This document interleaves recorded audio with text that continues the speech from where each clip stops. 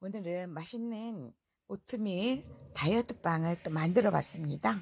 오늘은 이렇게 모양이 조금 네 넙죽하게 만들어 봤어요. 네 다이어트 쿠키도 만들어 봤습니다. 우리 히어로 사진을 앞에다 두고 히어로 안녕 네 히어로를 보면서 콘서트를 생각하면서 음, 다이어트 빵을 만들어 봤습니다. 그리고 다이어트 쿠키를 만들었는데 너무너무 이쁘죠? 두 번째 작품이에요. 네. 이렇게 빵을 보니까, 네. 안에 좀 한번 볼까요? 너무너무 맛있게 생겼죠? 이거 보세요. 이거 보세요. 완전히 맛있게 생겼잖아요? 네. 이제 점점 좋아지고 기술이 늘어나는 것 같아요.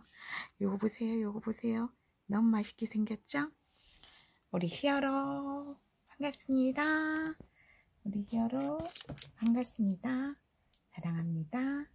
네, 우리 히어로와 함께 상한 콘서트 가서 네, 도다이도 하고 홈 챌린지도 하고 자, 맛있는 이렇게 쿠키를 만들어서 오늘도 여러분께 소개했습니다. 맛있는 쿠키 맛있게 먹고 우리 모두 건행해요. 건행, 건행. 오늘도 맛있는 다이어트 쿠키, 다이어트 빵 만들어 봤습니다. 여기는 다이어트, 어, 정말 우리가 오트밀, 또 아몬드 가루, 또 여러 가지 당, 아주 맛있는 견과류를 잔뜩 잔뜩 넣었습니다. 건강할 것 같죠? 네, 맛있어요. 집 넘어가요. 자, 오늘도 여러분께 맛있는 다이어트 쿠키, 다이어트 빵 소개했습니다. 오늘도 우리 양홍님과 함께 건행, 건행, 사랑해요. 건행.